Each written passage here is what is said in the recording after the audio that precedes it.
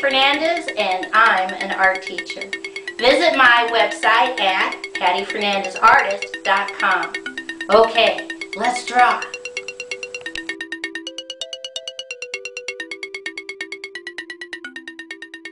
Today's project is how to draw Humpty Dumpty. I take three fingers over here on the left and right about here I put a dot. And from that dot I'm going to draw an oval. So I draw a curved line down, over, up, connect. On the right hand side I draw a straight line out. On the bottom, straight line out. On the left, straight line out. On the bottom, straight line out. I come back up to the top on the right and I draw a straight line down, straight line in, connect. Come over here on the bottom, straight line out, straight line down, connect.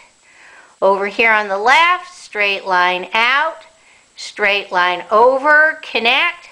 And up here, straight line down, straight line in, connect.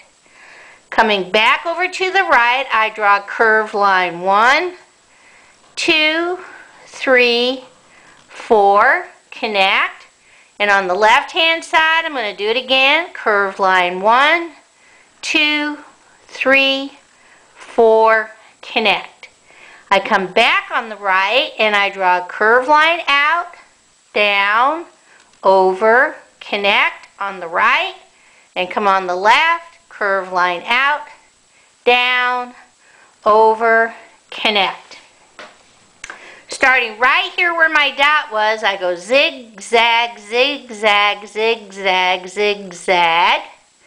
Come over to the center part and put one dot, two dots, little curve line, little curve line, curve line in the middle, and now we're just going to draw a circle. Connect. Come down over on the left hand side and we're going to draw a skinny rectangle. Skinny rectangle.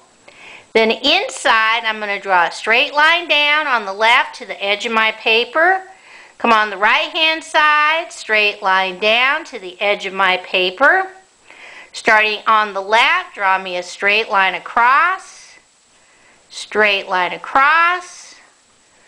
One more if you have room, but if not, that's okay. Come back to the part, top part and draw me little straight lines going across. Keep going. Now, in between, I'm going to draw another straight line on the second level. Keep going, and everybody might have a different amount depending on how you draw and one more on the very bottom level all the way across. Now, because I want Humpty to look like he's moving, I'm going to do what we call animation line. So I draw a curved line one, two, on the bottom left, curved line one, two, on the upper right. Okay, let's see how we're going to color him in. Okay, Humpty is pretty easy to color in. The first thing I'm going to do is color in his mouth black so it looks like he's screaming. Then I'm going to use my primary colors and I'm going to do his arms red. I'm going to do his legs blue. And I'm going to do his hands yellow and his feet yellow also. Kind of like a yolk. Then I'm going to take my brown and I'm going to color the top part of my bricks brown. And if you have a lighter brown or even a red, I'm going to come in and color the opposite